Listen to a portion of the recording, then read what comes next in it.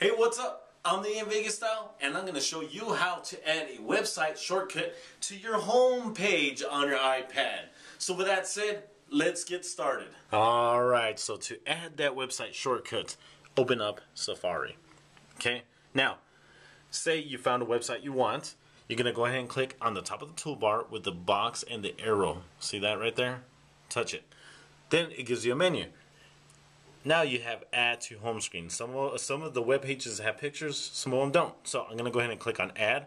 And then I have the option of changing the name. Now, I'll go ahead and click on add since I'm okay with that. And bam, it's done. There's my home page or my desktop for my iPad. And there's my icon. And I'm going to go ahead and touch it and it should go back.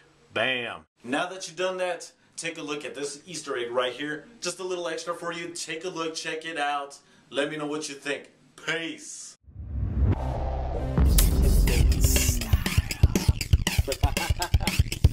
What up? My name is Mike. Busting the rhyme here on YouTube. That's right. What you say? Fool, come on now, listen to me. I'm here to knock up the scene. That's right, baby.